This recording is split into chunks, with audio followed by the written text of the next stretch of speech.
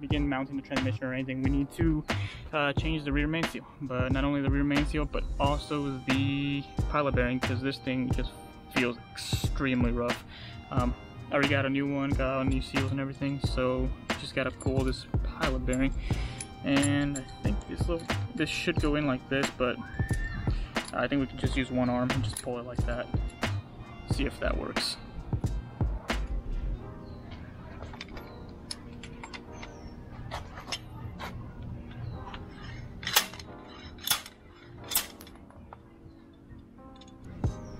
And I'm just gonna verify that they're both the same. Um, sometimes they can send you the wrong one, you never know.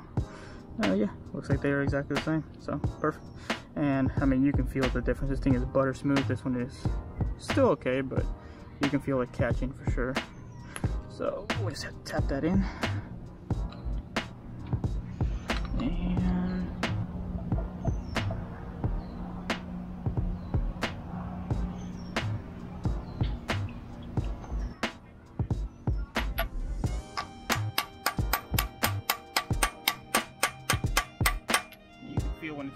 Seated on that little flange on the inside little lip. Uh, so that's all done. Now, like I said, now onto the rear main seal. I'm gonna take the whole, usually you can just take this little uh, seal here, but I'm gonna take it all off because I have the seal that goes behind um, the little plate as well. So take all that off, uh, regasket this piece right here, um, reseal it all.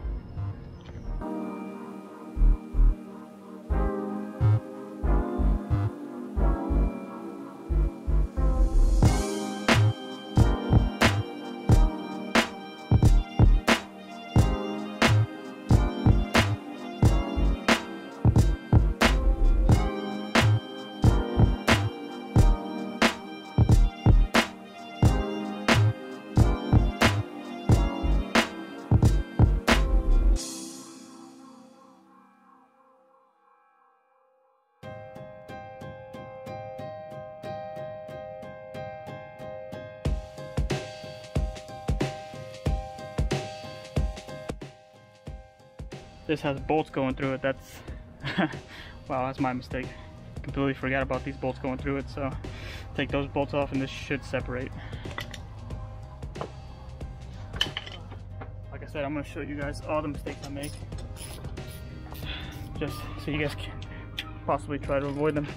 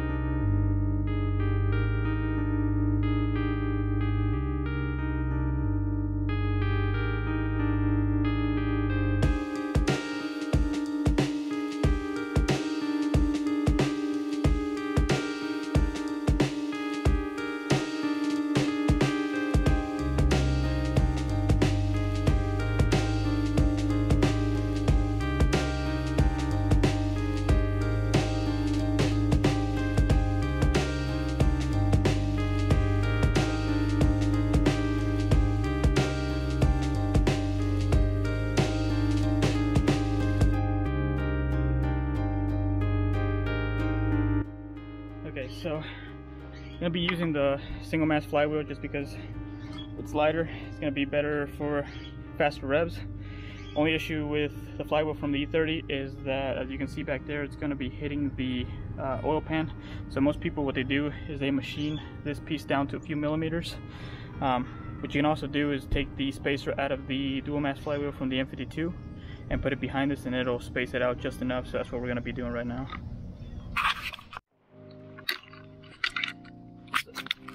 Like I just said, this is the dual mass off of the M52.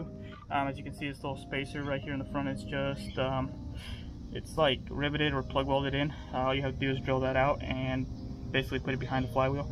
Uh, it almost looks like the E31, but the E31 goes in the front instead of the back.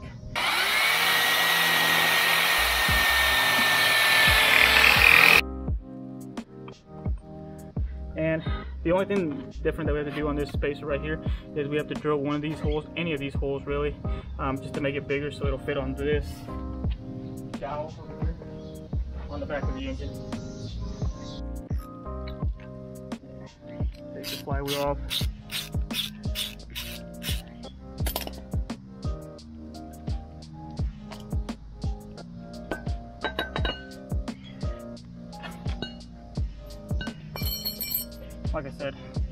Right here, give us the extra couple millimeters just to be able to fit, but we have to drill any of these holes really. Um, I'm gonna choose one of these with a lot of space in between, um, just in case I mess it up, and it'll fit in this dowel pin right here.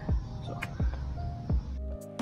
so as you can see, when we put the spacer in, um, it gives us just that extra few millimeters right here, and it'll spin freely, as you can, nah, maybe. As you can see, now it spins without any problems.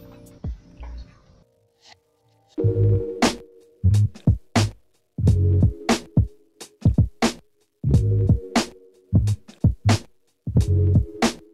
were gonna go to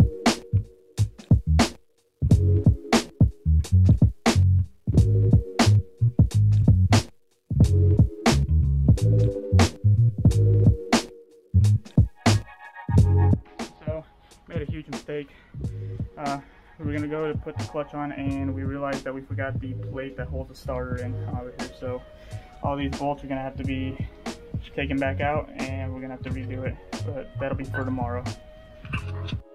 Okay, so for this specific build, uh, I decided to go with a spec stage 3 plus clutch. So this specific one can hold up to 590 foot-pounds if I'm not mistaken, which is a little bit of overkill since I'm only shooting for about 3, 350. But the reason I went with the 3 instead of the 3 Plus was because this specific one is a full face clutch disc as opposed to the other one which is a 6 puck. The 6 puck can be a little bit more difficult to drive. Um, this one should be a little bit more, will allow me to slip the clutch a little bit better and just be overall better for daily driving. So most clutches are going to have uh, two sides to them. Um, it's very important that you align this correctly because if you put this in backwards, um, some clutches will work, but they'll sound terrible. Other clutches will just not engage completely. Spec's pretty cool because they, they actually label it, as you can see, flywheel side. Um, so it's almost impossible to mess this up, but you know, anything's possible.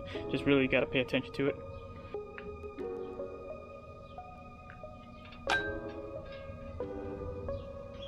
Um, once that's done, then we can also put on the pressure plate. Uh, don't forget to clean the pressure plate surface because it is um, coated with anti-rust uh, oil from factory. So make sure you give it a quick brake clean and a quick uh, cleaning, and then we can throw it on.